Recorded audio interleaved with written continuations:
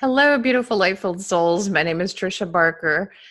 If you noticed my last post, it was a guided meditation. I'm really excited to collaborate with Steven Buckner, a talented musician who is also guided by intuition and the angels. And I loved the collaboration. I hope you enjoy it as well. I'm someone who loves all types of meditation. So, transcendental meditation, guided meditation, traditional types of uh, of meditations, but I particularly love meditating in nature as well, and that is where I got the idea for the first annual online uh, near death experience summit, and where I continued to go for guidance during the second one. It was so exciting for me to feel that energy that came through from the experiencers as they were talking about the afterlife and heaven. I think that that energy can be translated to others, and it is something that I feel, and I hope that those who attended feel it as well. I know from some of your emails that that you did experience that bliss. If you missed it, you can see the replay link of the day, and you can also uh, see the videos interviews that occurred with all the speakers. But onto the subject of meditation, I believe that in our hurried times and in our hectic times, more than ever, we need meditation. We need that connection to greater peace, to guidance, to that love from the other side that can stream into our lives and add healing to anything that we're working on. And currently i'm working on uh, healing adrenal fatigue. It's it happens to people who have suffered a lot of trauma. It's really quite common.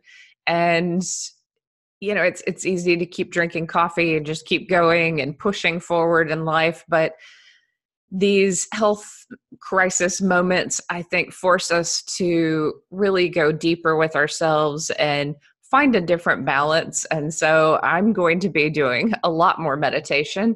And so I'd love to share some of them with you. And from time to time, I might post an occasional guided meditation. And I'd love to have your feedback on that. I, I work with all kind of doc- doctors, functional doctors, Chinese medicine doctors, healers. You know, I will get this under control and I will find greater balance. But again, it, it is humbling to realize just the toll that trauma can take on one's life and and chronic stress, you know, how it can build up. But I do know that the love from the other side and that connection to guidance amplifies meditations and it amplifies the work that healers do and it amplifies everything. And more than that, I think extending unconditional love to ourselves as we're going through something difficult is important. So I know that many of you face much greater health crisis moments than adrenal fatigue. And I just want to extend my hope that you are reaching out for that unconditional love for yourself, um, for what you are going through, and really kind of cradling yourself through that moment and searching for the right options for you. You can simply ask God to open up the avenues that are going to best suit your particular healing and just see how everything unfolds. But again, you can always call on angels when you're at the doctor's office, when you, whatever type of doctor uh, you're going to see, you can always ask for that guidance and that extra help in those moments. And, and that is uh, a beautiful, a beautiful experience. But I love connecting with readers who have read Angels in the OR, and I hope to continue to do that. I know so many of you just relate, and I think my greatest literary achievement is simply being able to relate to you and to getting some of these emails that people are sending me about their own lives and what they've survived and their own thoughts about healing and spiritual experiences and it's it's really been an amazing blessing to hear your thoughts and your journeys and